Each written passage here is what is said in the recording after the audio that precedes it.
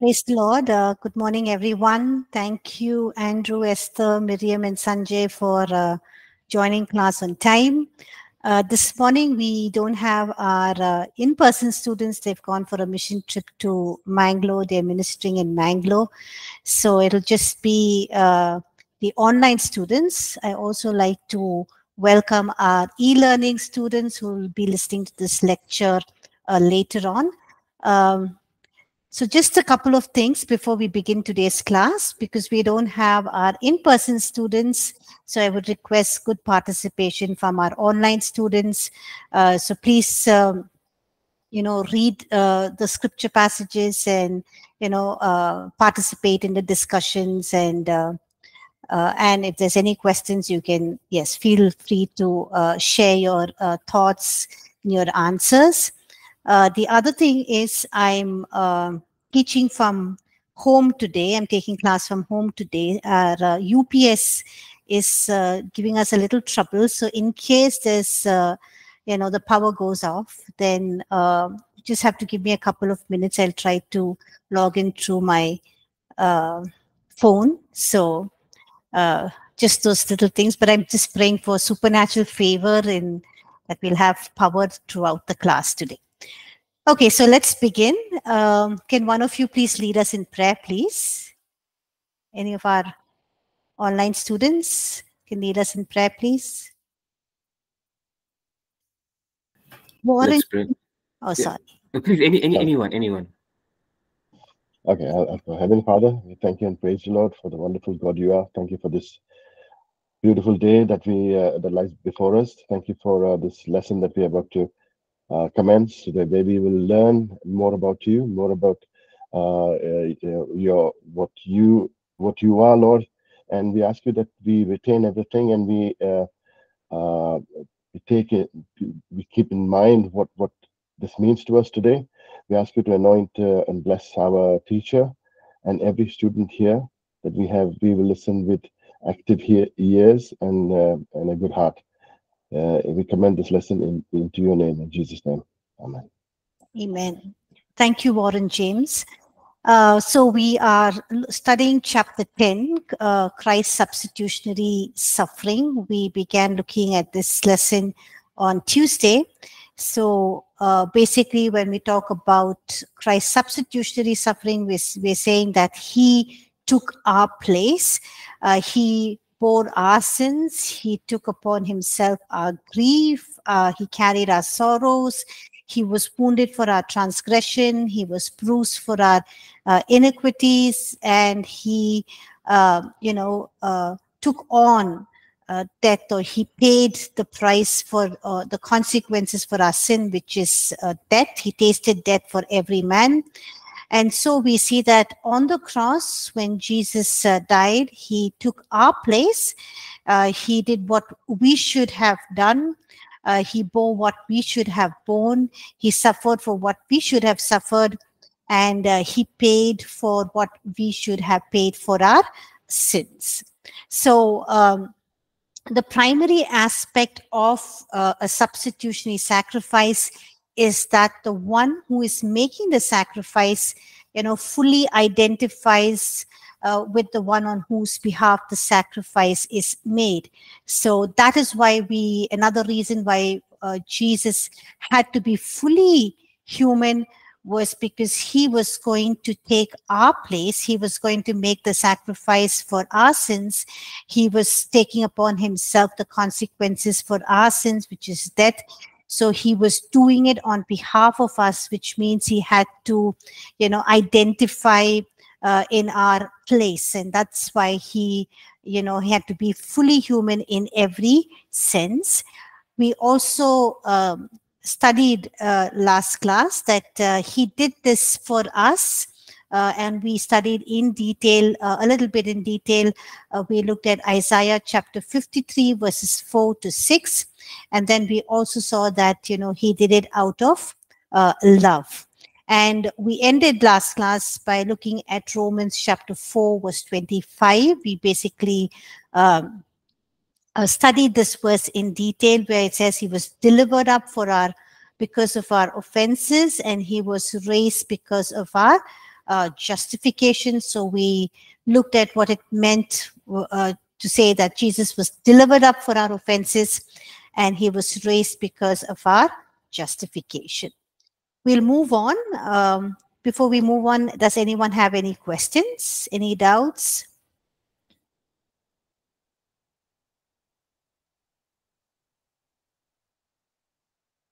Okay, I'll take the silence for a no and we'll move on to looking at uh, uh, uh, even more uh, different aspects of uh, what uh, Christ's substitutionary suffering is all about. Okay, um, First Peter chapter 2 verse 24 says that he bore our sins in his body. Okay, so can one of you please read First Peter chapter 2 verse 24 please? who himself bore our sins in his own body on the tree, that we, having died to sins, might live for righteousness, by whose stripes you were healed. Amen. Thank you, Lucy. So here it says that he bore our sins in his own body, okay, which means that, uh, you know, he bore uh, the misdeeds that we had done and he endured the consequences for our sins, which we should have endured. Now, he bore our sins is basically, uh, uh, you know, pointing back or reflecting back to him being the sin bearer, the offering that was uh, made uh, by the sin bearer. He was uh, as a substitute in our place. He was bearing our sin, so he was our sin bearer. And if you remember that. Um, I explained to you on the Day of Atonement, the priest would take two lambs. One lamb was the sin offering, and the other lamb was the sin bearer. The sin offering was the uh, was the lamb that was sacrificed, and the blood was sprinkled um, in the Holy of Holies in between uh, the two uh, cherubims, which was uh, the seat of mercy. And also we see that the other lamb where uh, the, the priest would lay his hands on that lamb, it became the lamb that was a sin bearer. It bore the sins of the entire Israelite race and that that lamb was sent out into the wilderness. So here Jesus identifying again with um, uh, uh, you know the Old Testament sacrifice. He was our sin bearer. He bore our sins is basically talking about the uh, uh, the, the lamb that bore uh, the sins of the entire Israelite race. And also here we see that, you know, uh, uh, when he bore our sins, he provided for our healing. Because we read here in this verse in first peter chapter 2 verse 24 whose stripes we were healed. Okay now we need to uh, uh, uh, note in this um, verse what is a result of Christ's substitutionary suffering. You know, um, it says here that we, having died to sin, might live for righteousness. Okay, so it's basically, uh, uh, you know, Peter uh, saying here that you know, that we need to lay aside our sin and live a life of righteousness, which means he's saying that we no longer operate in our sinful nature because on the cross, Jesus, um, you know, broke the power of sin. He canceled the power of sin, of Satan, and of death. Um, sin, like Paul writes in Romans, sin has no longer, you know, authority and power over us. We are dead to sin and um, uh, you know uh, so here it says that you know uh, since that we are dead to sin and sin has no longer po uh, uh, any power in us um, and when we are born again we no longer operate in the old sinful nature because now we have the nature of christ. And that is why uh, paul says that we are a new creation which means that you know when christ has done all this on the cross you know, uh, Peter is uh, writing and saying that we need to come to a place where we are laying aside our sin, that uh, we are no longer slaves to sin because we are dead to sin. The power of sin over us is cancelled, is nullified, and uh, hence we need to live a life of righteousness because of what Christ has done on the cross that uh, you know he has made us in right standing with god his christ's righteousness has been imputed or been put into our account so to say. So here it says that we having died to sin might live for righteousness. Basically peter is reminding us that when jesus died on the cross you know we are also dead to uh, sin uh, which means our life is permanently changed by our new identification with Jesus on the cross. And, uh, you know, um, uh, uh, Paul, the Apostle Paul, very beautifully uh, describes this in Romans chapter 6, where he speaks of this as our spiritual identification. Uh, he says that, and even in Colossians chapter 2, verse 12 it talks about that having been buried with him in baptism in which you were also were raised with him to your faith in the working of god who raised him from the dead. So paul sorry.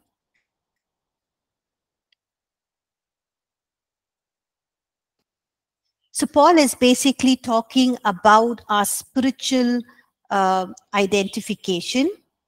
Uh, he's uh, basically saying that we spiritually identi- our, our, our new identification that when, when we are born again um, is that we spiritually identify uh, with christ.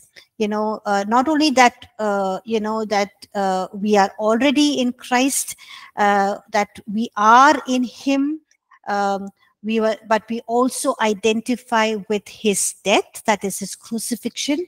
We identify with his burial. We identify with his resurrection with his ascension and his uh, seating in the heavenly places. And paul says this is our new spiritual identification. He also writes about this in colossians chapter 2 verse 12 you know um in first corinthians chapter 1 verse 30 can somebody read first uh, corinthians chapter 1 verse 30 someone else can read first corinthians chapter 6 verse 17 and someone else can read first corinthians chapter 12 verse 13 please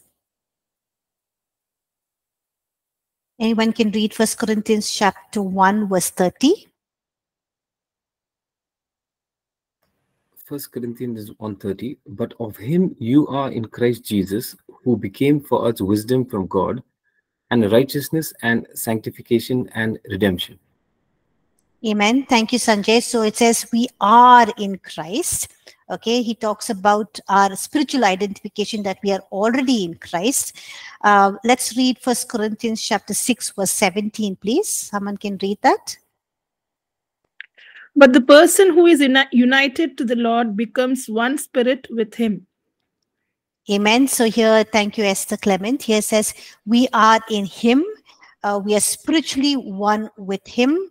Okay. And First Corinthians chapter 12, verse 13. First Corinthians chapter 12, verse 30. Do all have gifts of healing? Sorry, it's uh, sorry, Angeline. It's First Corinthians chapter 12, verse 13. 13 i'm sorry first corinthians first corinthians chapter 12 verse 13 for by one spirit we all are baptized into one body whether greek whether jews or greeks whether slaves or free and all have been made to drink into one spirit amen thank you angeline mercy so here we see that the holy spirit puts us in to Christ. So, you know, uh, when we are born again, you know, uh, God brought us into Christ. We read this in First Corinthians chapter 1, verse 30. And, uh, uh you know, uh, when we are born again, we are in Him, you know, spiritually one with Him. First Corinthians chapter 6, verse 17.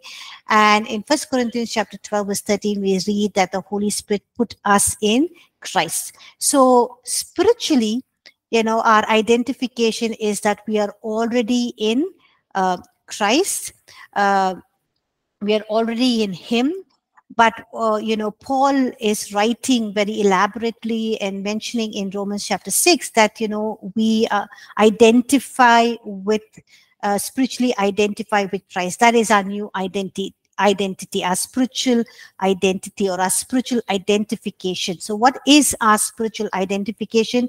That we identify with Christ's death, his resurrection, his burial, his resurrection, uh, uh, his ascension, his seating. This is our spiritual identification.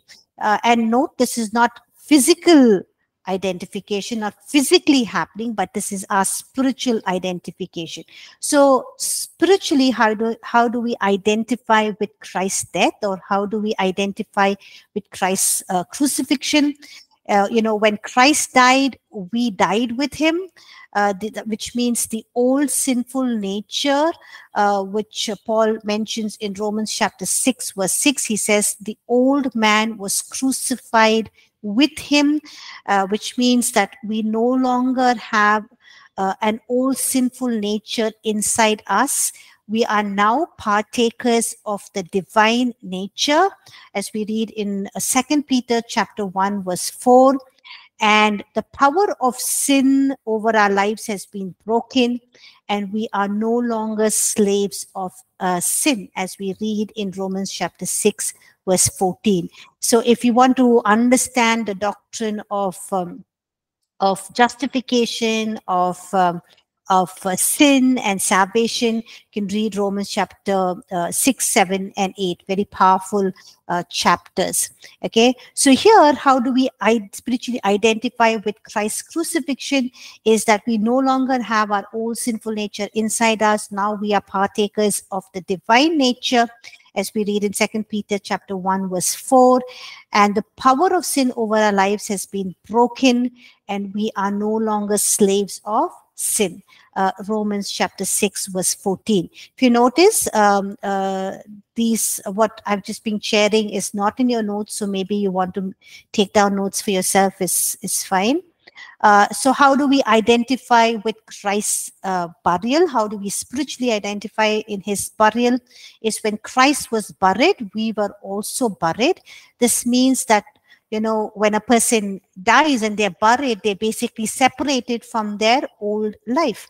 So we are separated from our old life. The old has gone, the new has come, and uh, we are a new creation and uh, the old has no more claim over us or any part in us as we read in second corinthians chapter 5 verse 17 so we are a new creature now and uh, even as a person dies and is buried they're separated from their old life. The old life has no more claims over them. So no one can come over their grave and say hey you know you body you borrowed uh, 10 lakhs for me. You have to give me back. You know they're totally separated from their old life. The old life has no more claim over uh, us or has any part in us. Okay uh, the next one is how do we identify spiritually with his resurrection? So we looked at how we spiritually identify with Christ's death, his crucifixion, uh, with his burial. Now, how do we spiritually identify with his resurrection? When Christ was resurrected, which means we were also raised up with him. Uh, we read this, uh, Paul writes about this in Ephesians chapter 2, verse 5. I'm just uh, quoting these references. You can take time later on to read. Uh, this means that, you know, we were bought, uh, brought from death to life and the power of Satan, um, uh, and, and, we were brought out of the power of Satan into the power of God, as we read in Colossians chapter 1, verse 13. And now we walk in uh, newness of life, in, in the God kind of life, the Zoe life, the eternal life uh, that uh, that Jesus uh, bought for us on the cross, where He took the divine exchange. He took upon Himself our death so that we can experience uh, the eternal life, the fullness of life. And so, how do we identify with His resurrection? Is that you know we are brought out of death to eternal life. We are brought out of the power of Satan from being uh, slaves of Satan, slave of death, slave of uh, sin. Um, and now we are uh, into God. We are children of God. And now we walk in this new life in the kingdom of God. And we have a new way of living. And the power of darknesses have no hold over us. Amen. Uh, such powerful truths uh, that Paul presents in uh, Romans chapter six, and of course he meant talks about this in in his other epistles as well. Uh, so we looked at how we identify spiritually with Christ's uh, death, his crucifixion, his burial, uh, his resurrection. Now, how do we identify spiritually with his um, ascension? Uh, when Christ ascended, we also ascended with him. How do we know this? Uh, we read this in Ephesians chapter uh, 2, verse 6, and Colossians chapter 3, verses 1 to 3. Uh, so what does it mean that you know when christ ascended we also ascended with him uh, it means that now we set our affections on things above because now we are ascended with christ uh, with him above so we don't set our affections uh, as we used to in our you know in our past sinful life when we were living in sin in the bondage of sin when our affections were for the things of the world the lust of the eyes the lust of the flesh the pride of life. But now we set our affections on things above uh, and also we live with a renewed mind. Uh, so what is a renewed mind? A renewed mind is basically um, thinking the thoughts of God and taking on the ways of God. Because um, uh, God said, My ways are not your ways, and my thoughts are not your thoughts. So basically, when we talk about a renewed mind, we are talking about taking on the thoughts of God and taking on the ways of uh, God. Okay, so we live with a renewed mind and uh, we look at everything from heaven's perspective because we have ascended to heaven. We basically now, we're no longer uh, earthly citizens. Our citizenship is in heaven. Uh, we are sons and daughters of uh, God. Uh, we have a heavenly citizen, a heavenly passport, so to say. Um, so we look at life from heaven's uh, perspective, uh, which means, you know, when even though we are living here on earth, we uh, we look at earthly things more with a heavenly perspective. We look at our identity as who we are in Christ, what Christ has done for us. We look at sin, sickness, pain, uh, suffering with a heavenly perspective. Uh, with what Christ has finished for us on the cross and what he has done, and we walk in that. So we we have to walk or live with a renewed mind and look at everything from a very uh, heavenly perspective of how uh, christ would look at it how god would look at it we need to look at it. And um, our life is now hidden in christ jesus.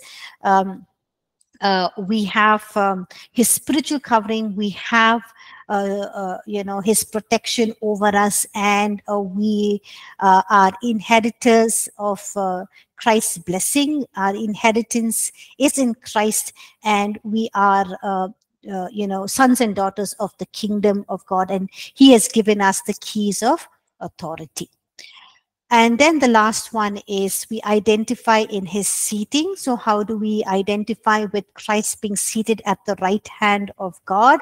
Basically, when we talk about the right hand, it basically is talking of a place of authority, a place where um, you know of power. So when christ was seated on the throne at the right hand of the father we also spiritually identify with him when we are born again. Now we are seated at the right hand of uh, God as we read in Ephesians chapter 2 verse 6. Again, Ephesians chapter 2 is a very powerful uh, chapter. It basically talks about our spiritual uh, inheritance, our spiritual blessings. So a good chapter to uh, uh, read, meditate, and to just, you know, make that part of your uh, you know the very core of your uh, uh, fiber of your being uh, because that is what we uh, have inherited our spiritual inheritance our spiritual blessing. And it says that you know we are seated with christ in authority and we are in a place of authority and dominion in christ jesus. And uh, which means we are in authority over every uh, power of satan over every demonic hosts and all the power of satan and all um, the demonic hosts are underneath our feet. Amen. So this is our spiritual identification, which Paul very beautifully, um, uh, you know, brings um, uh, to our notice. Of course, with uh, the inspiration of the Holy Spirit, he's talking about our spiritual identification, which he talks about in the book of Colossians, Ephesians as well, and uh, in Romans chapter six.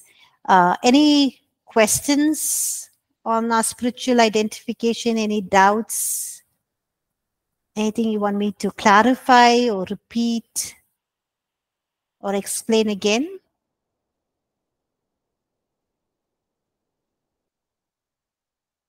Sister, if you can explain a little bit on uh, looking at things in our life in a heavenly perspective across our various realms in our life.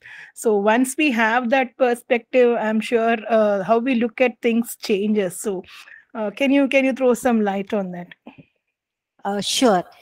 So, for example, uh, you know, uh, maybe when in the past we've had a lot of failures, um, uh, you know we've uh, not achieved things. Uh, we we feel that we can't when whenever we do something it ends up in a failure. But uh, when we are in christ and we're seated now with christ in the heavenly places you know we look at our lives in in in that perspective in the sense that you know we can do all things through christ who strengthens us. And uh, that you know uh, uh, you know, God has uh, planned even before the foundations of the world. He has um, uh, plans and purposes for us. And his plans and purposes, like it says in Jeremiah, uh, is not to harm us, uh, but is to prosper us and give us a, a, a, future. So we step into God's plans and purposes, and we think that, you know, the things that we were doing in the past, uh, you know, were not God's plans and purposes for our lives, or maybe we did not do it with uh, the Spirit's leading because we were living in our own sinful nature. We were doing it uh, uh, in our fallen human nature. We were doing it with um, uh, you know, uh, not with the strength of God, the wisdom of God. And so now we come to a place where we uh, receive wisdom, we receive strength, we receive the Spirit's guidance and leading. Um, and we step into that with a sense of, uh, uh, not with a sense of failure, but with a sense of assurance that, you know, this is God's plan and purpose for us, and He's going to lead me through this, and I'm going to be victorious in this. So even if it is the enemy that is coming against us and causing failure and closed doors and hurdles then we know our spiritual identification that uh, you know that we have authority over every demonic powers uh, and um, uh, you know um, uh, that the powers of darkness have no hold over us. So we speak against those uh, uh, powers of darkness because God has given us everything that we need for uh, uh, for godliness and life, and then we step ahead in that. Um, or if you are uh, uh, you know if you are living with this whole fear that you know there's a curse in your family and you have seen uh, things happening in a cycle or a pattern uh, but you don't believe that now you break that and you say you take authority because god has given you the keys of authority and you have authority over the powers of darkness over every demonic uh, uh, forces. Uh, every curse has been nullified. Jesus took our curse so that we can receive his blessing. And so you speak the the verses in the bible that talk about you know your blessings in that area you declare it and you stand in faith and you believe in faith and you declare in faith till you see God's word come true, till you see his promises come true, till his promises are a yes and an amen. So I basically just given you two areas. Does that help, uh, Esther Clement?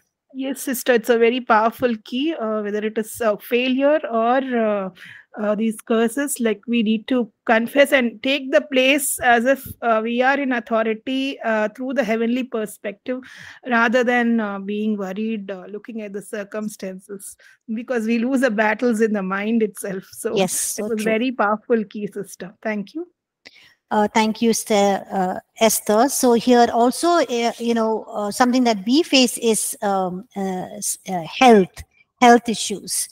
So the doctor can, uh, you know, uh, uh, diagnose us with certain sicknesses, health issues, and can say "Okay, this is for life. But uh, you know, we look at it from a heavenly perspective that there is no sickness in heaven, and on the cross, Jesus is born our uh, griefs and carried our sorrows. And we saw uh, grief uh, last uh, uh, last class. We saw grief. The Hebrew word is uh, sickness. He carried our pain, and so even though we take the treatment, we take the medicines.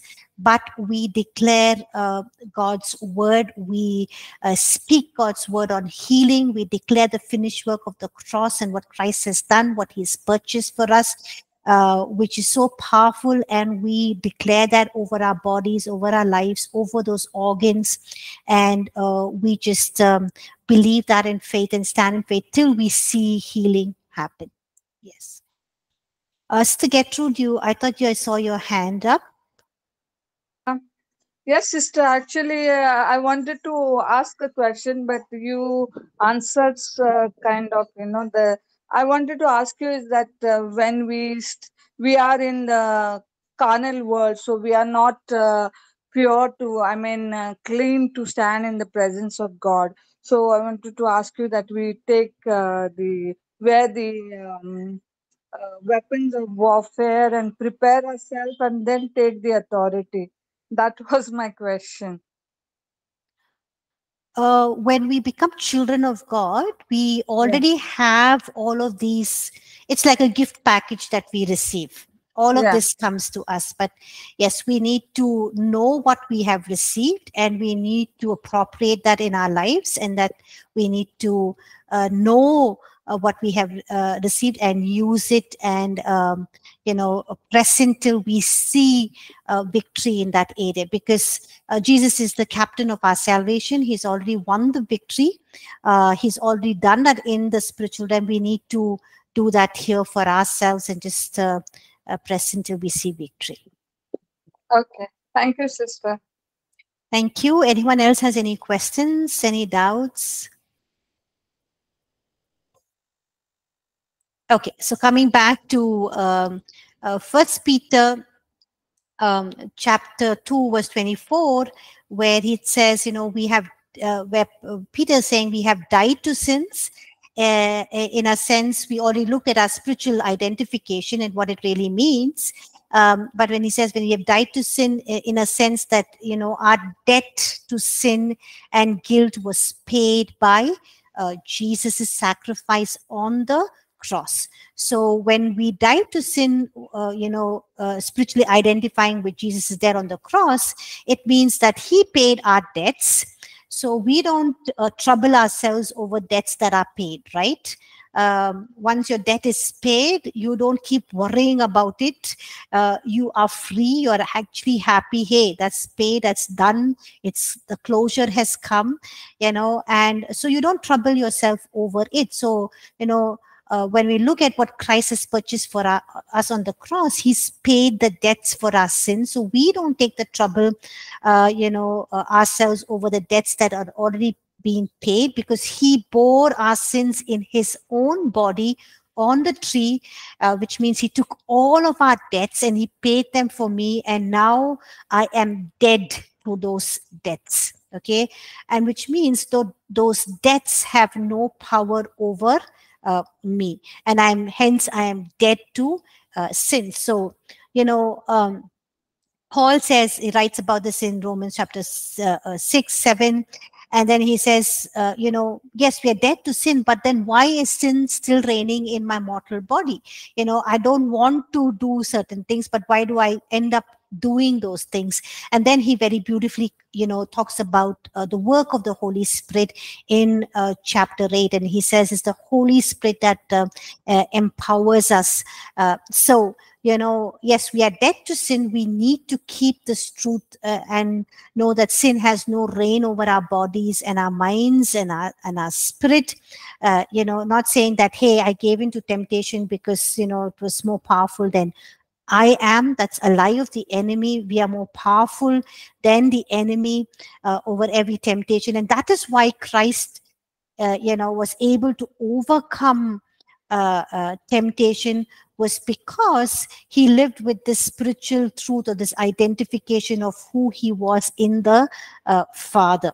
So it's very important to know who we are in Christ and very important to know what Christ has finished for us on the cross and to live that um, out. So, you know, uh, we're dead to sin because Christ suffered in my place, in our place, and we have nothing to do with sin or the uh, or the uh, or the uh, the consequences of uh, sin. Okay, um, and He's taken them all away, just as if we never committed it. So that is why you know we are justified in christ. Justification uh, uh, uh, means that you know god looks at us just as if we never sinned. Amen. Uh, such powerful truths uh, and i hope this has really encouraged you and brought these truths to light. And it's important that we live and walk in this uh, truth. And also here uh, in first peter chapter 2 we read that whose uh, stripes you were healed. So which means you know uh, uh, on the cross, Jesus brought our total healing and our total wholeness in our um, in our soul, in our spirit, and in our body. Amen. So we are all. It's uh, and I love this. It says by whose stripes you were healed, which means it's not that you will be healed. You may be healed. You can be healed. It's not a possibility can happen or not, but it says you were healed, which means it's already a done thing. You're already healed. So, you know, any sickness that is uh, ravaging your body, any sickness that is bothering you, you just declare over it that you're already healed uh, through the stripes of Jesus and what Jesus done on the cross, and you just believe that and walk in it.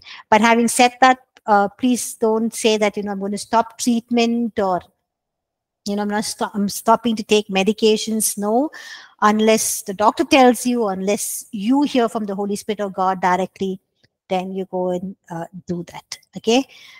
So that is um, uh, first peter chapter 2 verse um, 24 just uh, two lines but so powerful such a powerful truth that we could uh, learn from that. Uh, any questions any doubts anyone else has? Any clarification? Before we move on? Okay, uh, we'll move on. He became sin for us.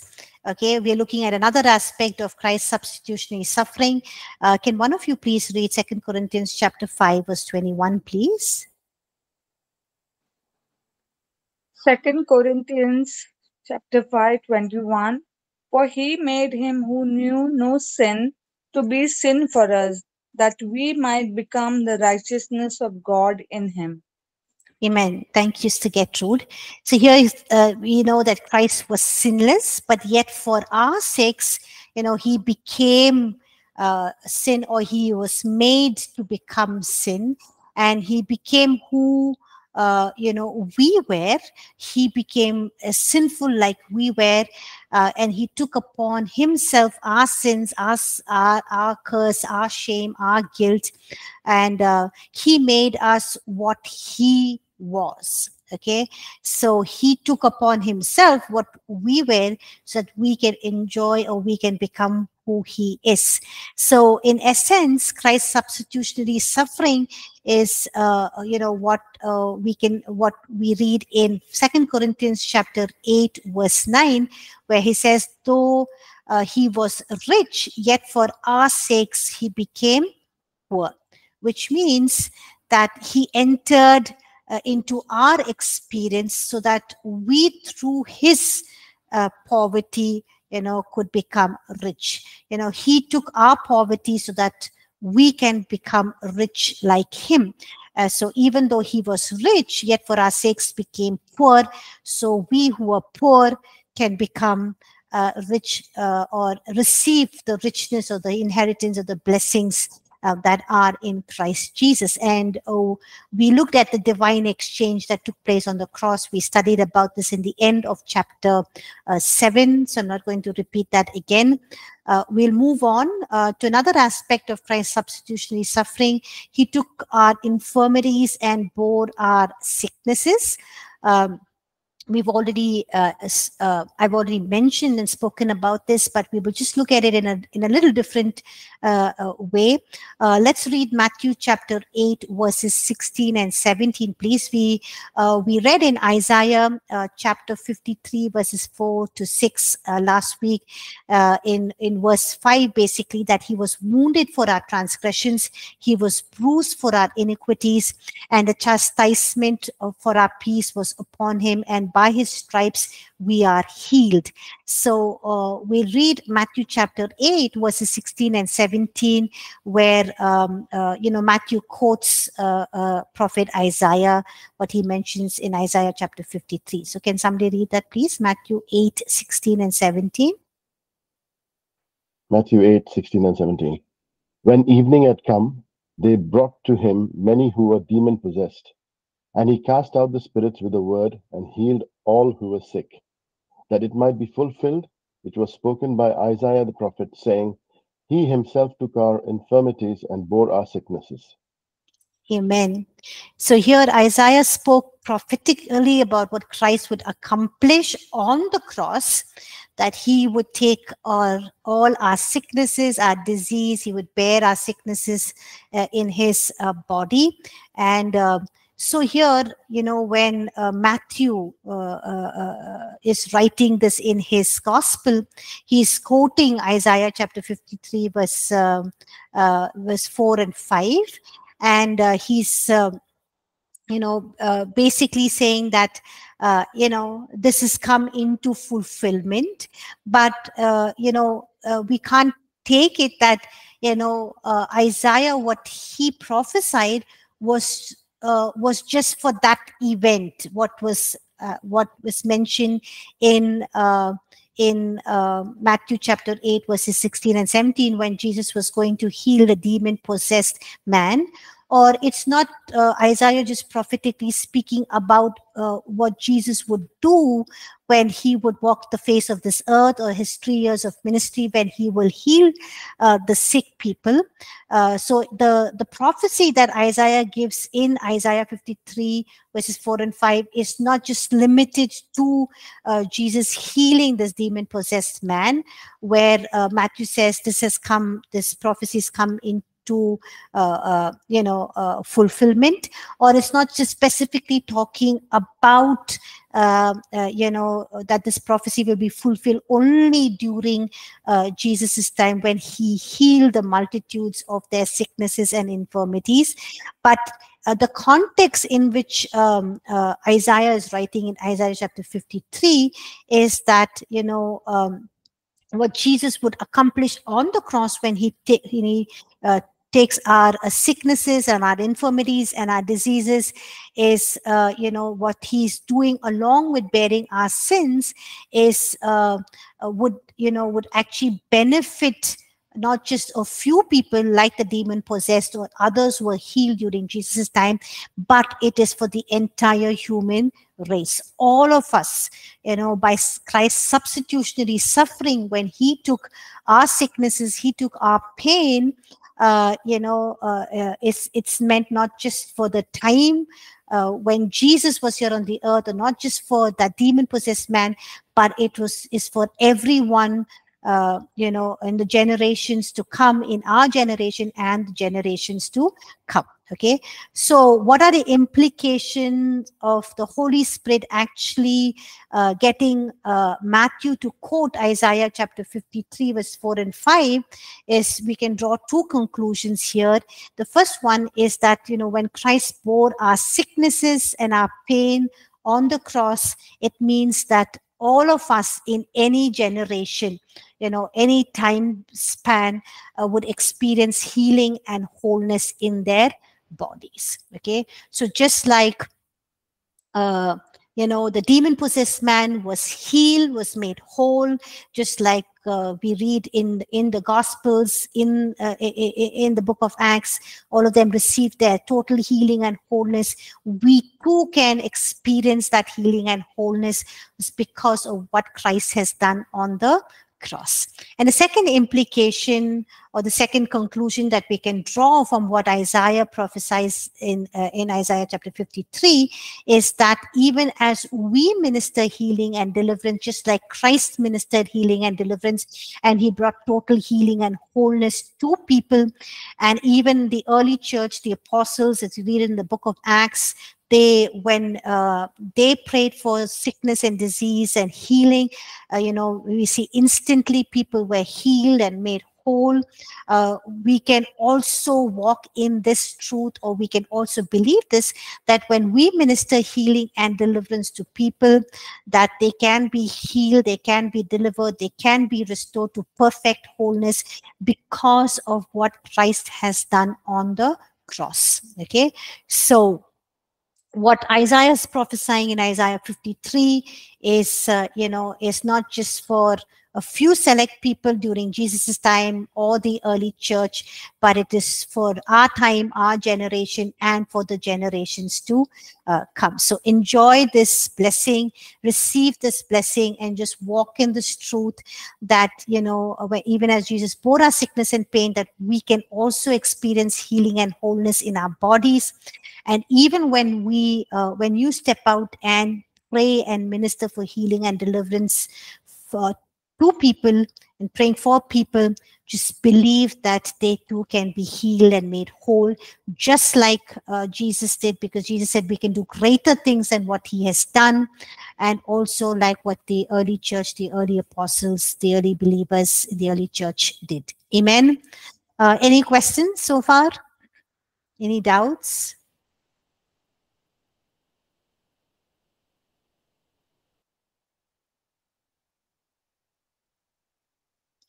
Okay, just two more things about Christ's substitutionary suffering that he became a curse for us. We already looked at Galatians chapter 3.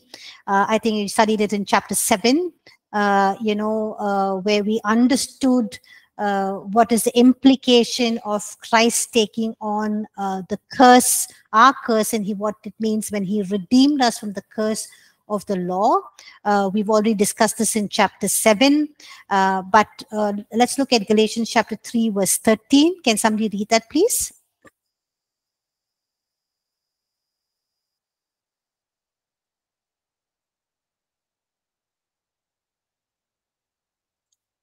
Galatians 3, verse 13 Christ has redeemed us from the curse of the law, having become a curse for us, for it is written, Cursed is everyone who hangs on a tree.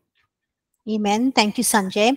So here we look at another implication of this verse that we already studied in chapter 7 that Christ set us free from the curse of the law, which means uh, the law, you know, when you don't keep the law, it brought certain curses, and those curses were listed out in um, uh, God listed uh, listed it out for the Israelites. We read this in Deuteronomy chapter 28, verses 15 to 68. A whole list of curses, and the curses included, uh, you know, sickness and pain and suffering and every kind of oppression and disease and poverty and failure. It also lists out uh, the blessings. Uh, so when Christ on the cross took our curse, you know, he became uh, a curse for us. He took on our curse so that we can enjoy the blessings. So, you know, don't believe this lie that, uh, you know, the curses are the pers- past curses in your generations are still operative. Uh, if the thought comes to your mind, you can just, uh, you know, bring that and cover it under the blood of the Lamb and uh, just uh, declare that you are curse free that Christ has taken all of your sickness, your failure, your diseases, your poverty, your oppression, and you know, and you now receive the uh, blessings. So Christ set us free from all the curses of the law, and we receive His uh, blessings that He has for us. So divine exchange again. Yes, Sister Gertrude. Sister, I wanted to ask you is uh, those who are not born again, your family members, Mhm. are they uh, under the curse of the generational curses? Yes, because they're still in sin. Um, the curse can be operative because they are no longer under the spiritual covering. They're no longer under, they're not coming under what Christ has done for them. So, uh, yes, the curse can be operative. They can live under the fear of that curse. That curse can, you know, work in their lives. But sister, Yes. if we pray for them, uh, will the prayers be effective? Yes you can pray for them but you need to also tell them you know uh, uh, and you know get them to understand. And it's a good uh, place where you can lead them into salvation. Okay, sister. Thank you. thank you. Okay we'll end class here. Um, thank you for those of you responded from uh, to my uh, request of having um the assessment on uh, uh, on March 22nd. I think only six of you have comment, uh, commented on it. If the rest of you can, it will be very helpful. Um, thank you all for uh, joining class today. Have uh, a blessed day and a blessed and refreshing, uh, restful weekend, and I'll see you on Tuesday. Thank you, everyone.